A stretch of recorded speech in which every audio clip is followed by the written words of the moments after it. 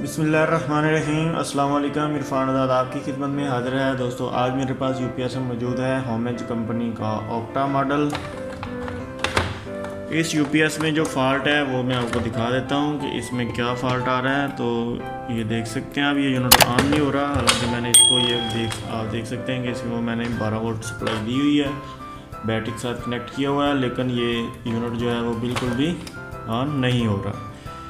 तो अब इसको कैसे पता चलेगा कि इसमें कहाँ पे फॉल्ट है डेड है या क्या है, क्या नहीं? तो उसके लिए हमें यूपीएस को खोलना है। खोल के जब हम बोर्ड के अंदर नज़र दौड़ाएँगे तो सब कुछ सही नज़र आ रहा है इसमें तो। वैसे अगर कोई चीज़ ख़राब होगी तो वो हमें नज़र भी आ जाएगी। लेकिन इसमें बोर्ड के अंदर कोई भी मसला नहीं है।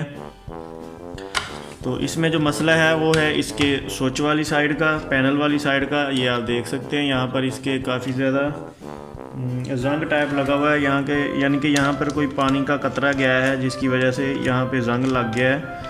तो उस जंग की वजह से यूनिट जो है वो ऑन नहीं हो रहा। तो अगर हम इसको दूसरे तरीके से चेक करें कंफर्म करने के लिए कि फ़ाल्ट इस पैनल में है या फिर फॉल्ट जो है वो बोर्ड में है। उसके लिए एक छोटा सा हमें कोई भी पेचकस लेना है या ट्यूज़र लेना है तो यहाँ से हम क्या करेंगे, इसकी जो वन नंबर पिन है और टू नंबर पिन को आपस में शॉर्ट करेंगे।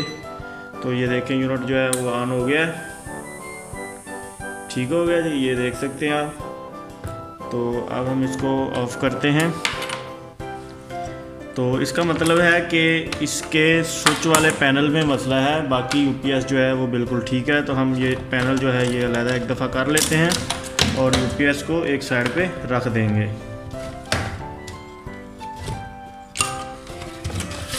यूपीएस को हम साइड पे कर देते हैं और इसका जो पैनल है, इसको खोल लेंगे। ये वाला पैनल है इसका। तो इसमें ये दो पेज लगे हुए हैं, इन दोनों को खोल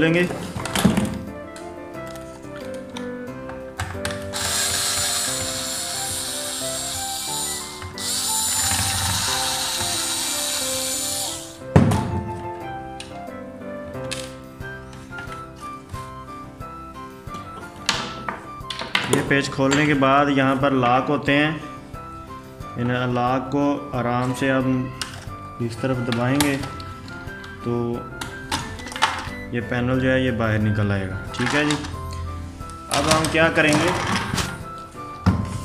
सबसे पहले इसको थिनर या पेट्रोल के साथ इस एरिए को एक दफ़ा वॉश करेंगे ताकि जो जंग वगैरह है, मट्टी है, वो साइड पे हो जाए, साफ़ हो जाए। और हमें फ़ाल्ट जो है, कहाँ पे फ़ाल्ट है, वो ट्रेसना आसान हो जाए।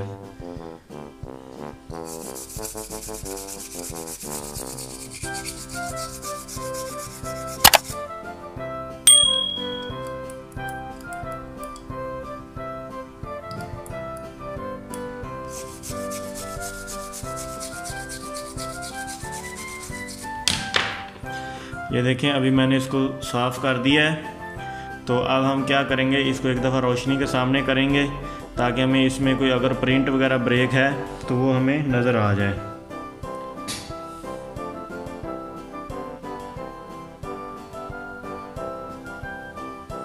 तो बाहर ही हमें प्रिंट नज़र नहीं आ रहा। तो अब हम क्या करेंगे, यहाँ पे थोड़ा सा शक मुझे आ रहा है कि यहाँ से प्रिंट जो है, इसका ब्रेक है। तो यहाँ से हम इसको स्क्रैच कर लेंगे।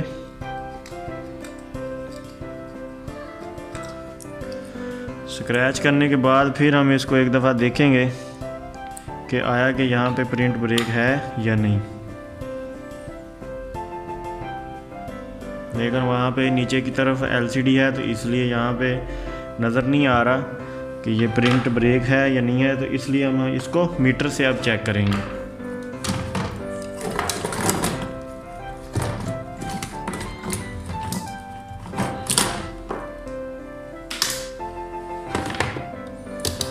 सिंपल हम मीटर से स्विच से लेकर ग्रिप तक हम सारे प्रिंट जो है वो चेक कर लेंगे एक दफ़ा। अगर कोई प्रिंट ब्रेक हुआ तो वो हमें पता चल जाएगा।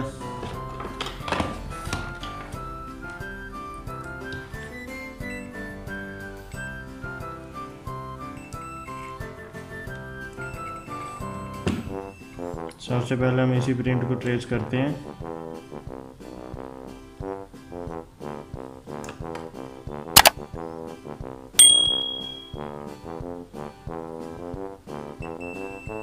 ये एक प्रिंट ठीक है।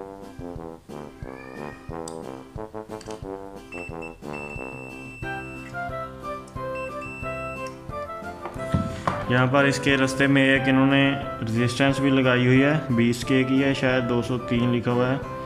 और ये 20 के की बनती है। तो इसकी वैल्यू भी एक दफ़ा चेक करेंगे।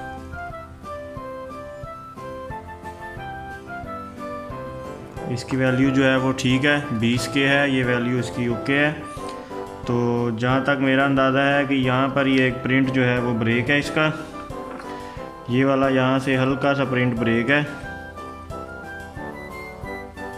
तो अब हम क्या करते हैं जी, इस प्रिंट को, ये आप देख सकते हैं, यहाँ पर, यहाँ से ये प्रिंट जो है वो ब्रेक हो रहा है थोड़ा सा। तो अब हम इस प्रिंट को लगाते हैं और फिर आपको दिखाते हैं यूनिट की सूरत हाल। प्रिंट लगाने से पहले सोल्ड करेंगे इस एरिए को जहाँ पर हमने प्रिंट बनाना है।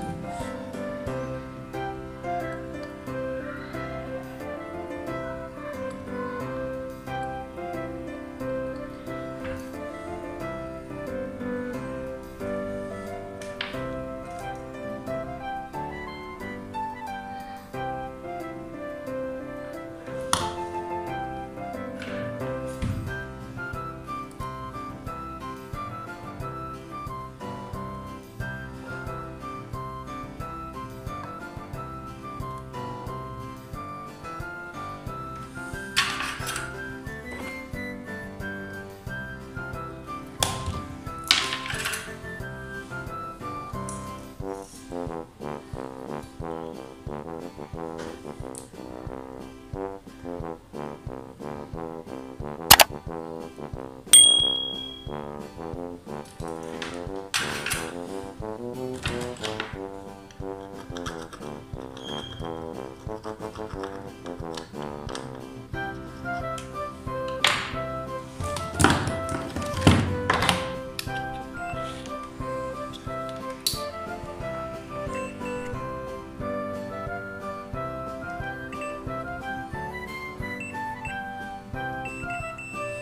ये देख सकते हैं आप, अभी ये जो प्रिंट है, ये ओके हो चुका है।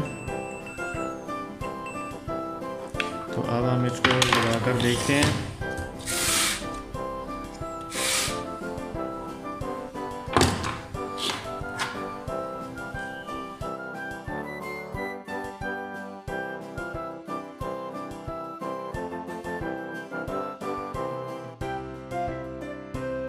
जी तो प्रिंट जो है वो मैंने बना दिया है। प्रिंट बनाकर इसको फिट कर दिया है। इसके पैनल जो है, इसका बॉडी में लगा दिया है। तो अब हम इसको करंट देकर देखते हैं। तो ये आप देख सकते हैं कि यूपीएस जो है वो हमारा बिल्कुल ओके हो चुका है।